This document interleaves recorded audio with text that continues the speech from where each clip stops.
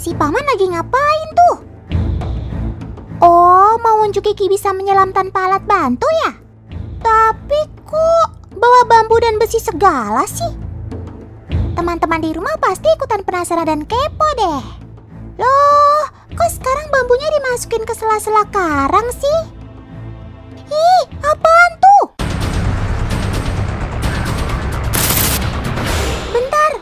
Otan kayak pernah lihat.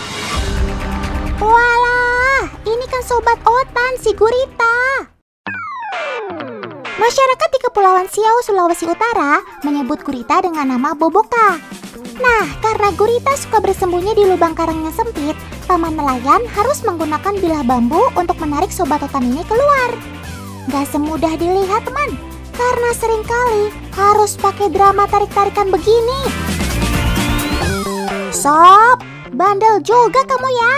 Ayo, menyerah saja. Yes, akhirnya si paman berhasil. Teman, ada 289 spesies gurita di alam. Dari jumlahnya yang banyak itu, ada gurita yang memiliki racun sangat mematikan. Ini contohnya. Kenalin teman, ini yang namanya Blue Ring Octopus alias gurita cincin biru.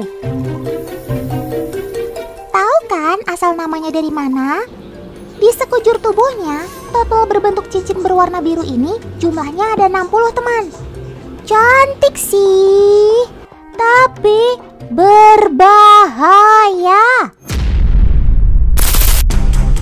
Kalian jangan tertipu sama motif tubuhnya yang menawan ya. Karena gurita cincin biru ternyata memiliki racun yang sangat mematikan. Bahkan racunnya ini seribu kali lebih mematikan dari sianida. Serem! Gurita cincin biru memiliki racun yang disebut tetrodotoksin. Menurut penelitian, satu tetesnya saja sanggup membunuh 26 orang dewasa loh hanya dalam tempo satu menit. Pantas saja kamu mendapat julukan makhluk laut paling mematikan yang ada di planet bumi.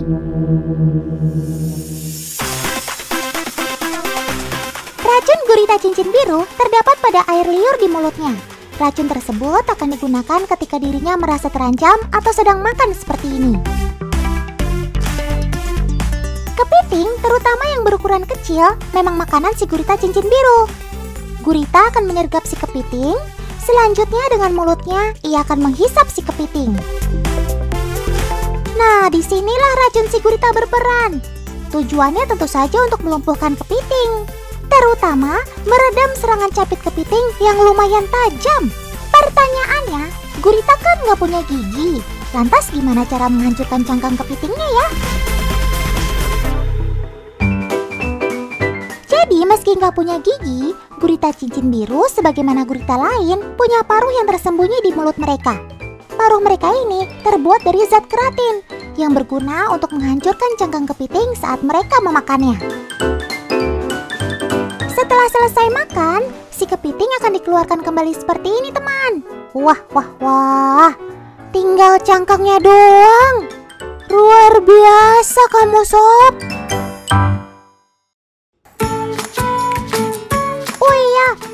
Si gurita ini sedang merasa terancam adalah ketika warna cincin birunya yang akan menyala seperti ini. Warna tubuh sobat totan ini juga bisa berubah jadi oranye loh. Perubahan warna mendadak yang bertujuan untuk menakuti musuh ini disebut juga dengan istilah aposematik. Kalau begini, alamat gak punya temen sob, serem sih. Buktinya, ikan ini langsung batal memangsa si oktopus begitu menyadari cincin-cincin birunya berwarna terang menyala.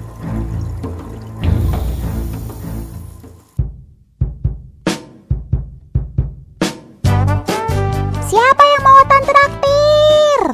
Wah, langsung tunjuk tangan. Traktir makanan berbahan gurita mau nggak?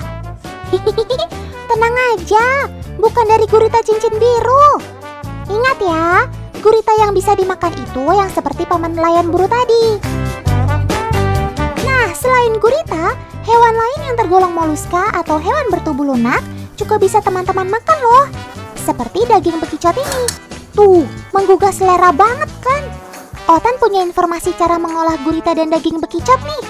Siapin pulpen dan kertas ya. Kali aja bisa kalian tiru di rumah. Mumpung lagi di rumah, bisa isi waktu dengan masak bareng bersama anggota keluarga. Jadi, Otan traktirnya kapan-kapan ya.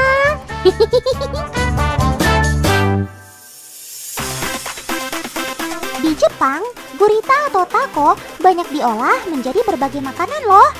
Nah, mumpung Otan dan Kaulan sedang berada di restoran khas Jepang di Bandung, sekalian saja yuk kita icip-icip olahan gurita. Di restoran ini memiliki chef yang sangat berpengalaman. Chef Sugeng sudah malang melintang selama 20 tahun di bidang Japanese food. Keren maksimal, chef! Kira-kira si gurita ini mau dibuat apa saja ya?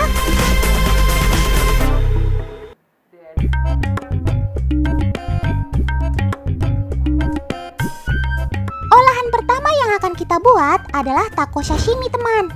Sashimi biasanya disajikan dengan cuka wakame yang dapat membuat lidah teman-teman bergoyang. Tarik sis! Semongko!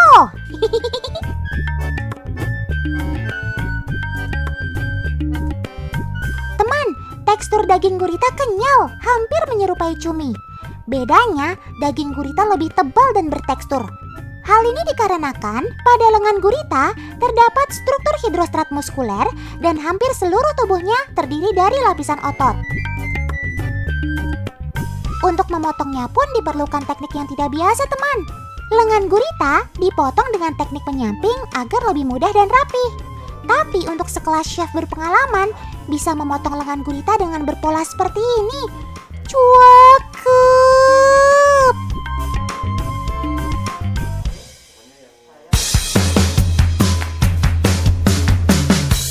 Selain sashimi, ada lagi nih olahan gurita yang tidak kalah populer di masyarakat Indonesia.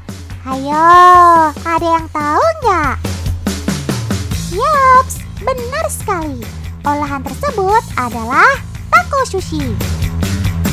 Potongan gurita pada sushi jauh lebih kecil daripada potongan pada sashimi, teman. Hal ini dikarenakan daging gurita akan disajikan bersama nasi dan rumput laut. Dalam sushi, protein bisa didapatkan dari gurita, sedangkan karbohidrat berasal dari nasi. For your information nih teman, protein pada gurita jauh lebih banyak daripada ikan salmon loh. Itulah mengapa nutrisi dalam taco sushi dapat membantu kinerja otak agar lebih fokus. Kaulan, jangan makan semuanya ya. Otak kan juga mau. Uh, uh, uh.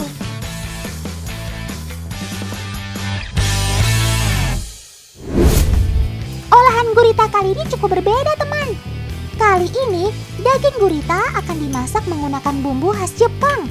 Nama masakannya adalah tepan taco butter soyu. Dalam proses pembuatan masakan ini, daging gurita tidak boleh dimasak terlalu lama teman. Gurita yang terlalu lama dimasak akan menghasilkan tekstur yang keras dan terlalu kenyal. Oh iya, gurita juga dapat membantu pembentukan massa otot dan membantu mencegah flu loh. Kermax, keren maksimal.